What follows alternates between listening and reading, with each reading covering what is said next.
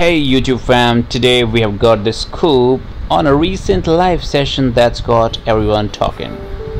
Nessa Barrett's exes gathered for a heart-to-heart conversation. Yo, that's facts. I fucking miss you, Harley. I miss your ass like crazy. I'ma see you this week. And Jaden Hossler didn't hold back when expressing how much he misses Nessa Barrett's ex Harley Solomon. Let's dive into the details. In an unexpected turn of events, Nessa Barrett's exes came together for a live session. Creating a buzz among fans, the atmosphere was filled with both curiosity and anticipation as viewers tuned in to uh, hear what uh, they had to say. The highlight of the live session was Jaden Hossler's heartfelt confession about missing Harley Solomon.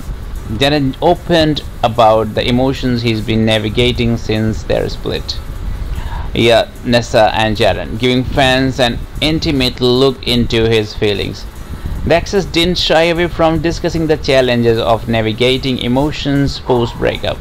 It was a raw and genuine conversation that shed light on the complexity of the relationships in the public eye. Jaden reminisced about the good times with Nessa Barrett, expressing the depth of uh, depth of his feelings and the void he feels since their separation.